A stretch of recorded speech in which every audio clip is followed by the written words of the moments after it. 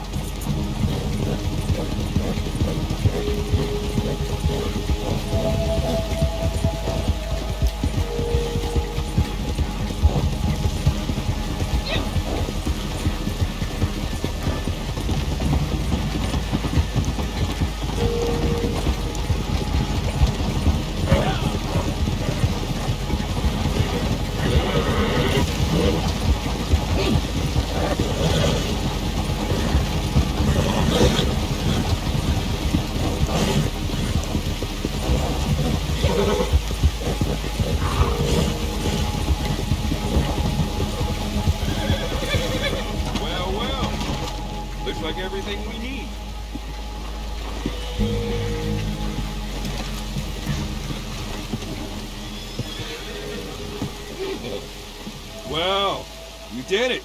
Good. You got everything. Well done. We're almost ready. So, meet me in Saint Denis when you can, and we will finish this thing one way or another.